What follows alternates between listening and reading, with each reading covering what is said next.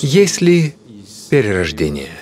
Если оно есть, то что переносит человека от одного рождения к другому?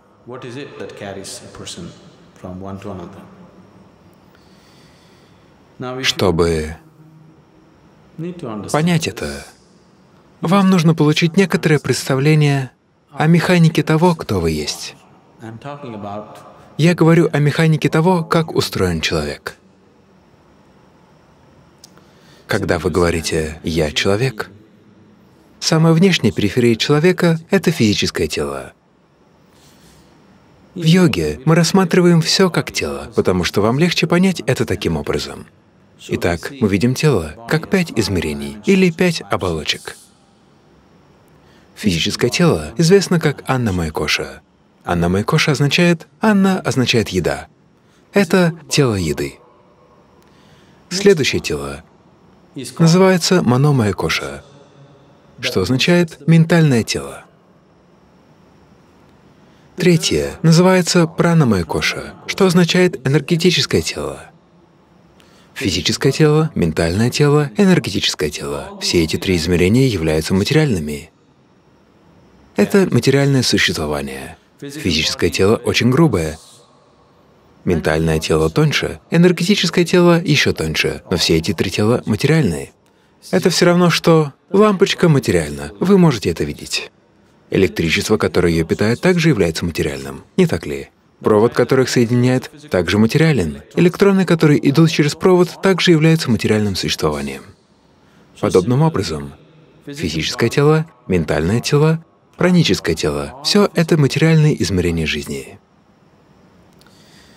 Это материальное измерение жизни во всех этих трех измерениях несет в себе отпечатки кармы. Они запечатлены в теле, в уме и в энергии. Этот кармический отпечаток или кармическая структура — это то, что удерживает их вместе. Карма — это цемент, который удерживает вас в физическом теле. Карма — это рабство. Но в то же время только из-за кармы вы можете удерживаться в теле и быть здесь. Вот где духовность кажется сложной, потому что если вы попытаетесь убрать карму, это не будет работать. Если попытаетесь добавить, это не будет работать. Вы просто должны быть там. Если вы просто там, все может произойти в одно мгновение.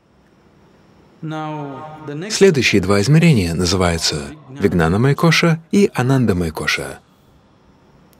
Вигнана Майкоша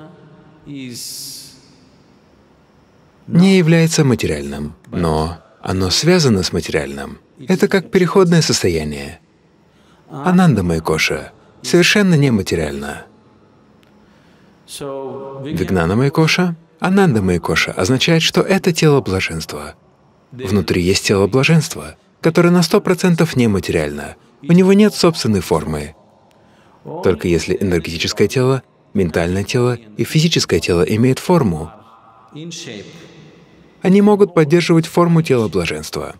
Если убрать все это, то тело блаженства станет просто частью космоса. Поэтому то, что вы называете атманом или душой, на самом деле фикция. В том смысле, что люди описывают определенные ограничения нематериального как душу. Но тело для души — это все равно ваша карма, если кармическая структура полностью разрушена души нет. Все сливается со всем остальным. То, что называется махасамади или махапаринирвана, это просто процесс, когда вы постепенно понимаете, где находятся ключи, и разрушаете кармическую структуру, так, что вы по-настоящему перестаете существовать. Когда кто-то умирает, мы говорим, что этого человека больше нет. Это неправда. Он больше не такой, каким вы его знали, но он очень даже существует.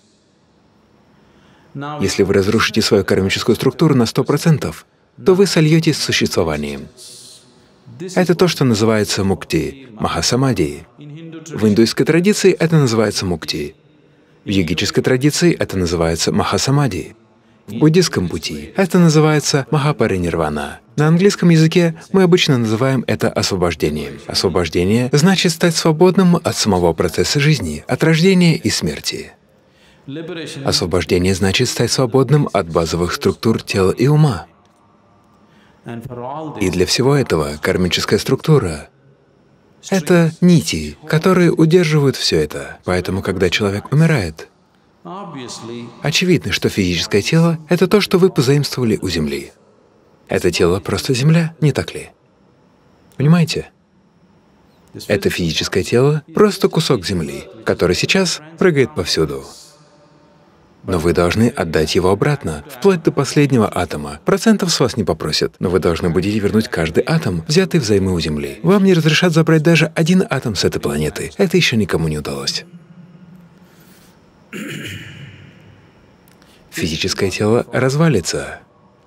Ментальное тело и праническое тело, в зависимости от силы вашей кармы, будут продолжать существование. Если кармическая структура очень интенсивна, она не закончила свой путь, тогда она должна его закончить. Если карма стала слабой, потому что она прошла свой путь, тогда она очень легко находит другое тело. Если нужно найти другое тело, интенсивность этой структуры должна снизиться, она должна стать пассивной. Если существование очень интенсивное, оно не сможет найти тело, ему придется просто висеть. Это то, что вы называете призраком. Кто-то мертв, его кармическая структура все еще интенсивна, потому что она еще не закончила свой текущий путь. Тогда ему нужно гораздо больше времени, чтобы найти другое тело. Он все еще существует. И чем интенсивнее его кармическая структура, тем более видимым он становится, или более доступным для восприятия людей. Вокруг вас бесчисленное множество таких существ. Знаете вы это или нет? Но большинство из них вы не почувствуете, потому что их карма растворена. Они просто ждут еще большего растворения, прежде чем найдут другое тело. Но если их карма очень интенсивна, вот почему в традиции говорят, что если кто-то умирает неестественной смертью в результате самоубийства, аварии или каким-то другим способом, они станут призраками. Это не так. Все становятся призраками. Просто их проще ощутить. Они более доступны для вашего восприятия, потому что у них более интенсивные кармические структуры.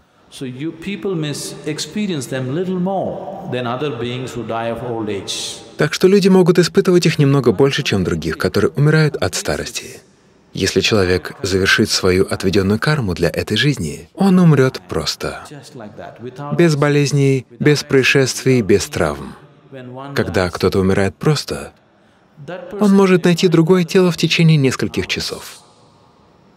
Вот почему в этой традиции всегда говорили, что если кто-то заканчивает свою жизнь и умирает спокойно, это лучший способ умереть, потому что ему не нужно висеть между смертью и рождением.